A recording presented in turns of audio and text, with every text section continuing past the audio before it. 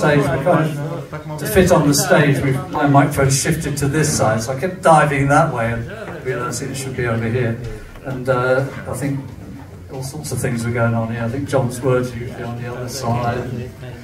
I, I think they should have played the basses and guitars the other way around. They probably probably would have fitted on the same. Um, seriously, thank you very much for your for your your listening contribution to Songs. It really needs all of that. That focus was fantastic, and uh, it really made it work for us. So, thank you very much. You've, you've been a great audience.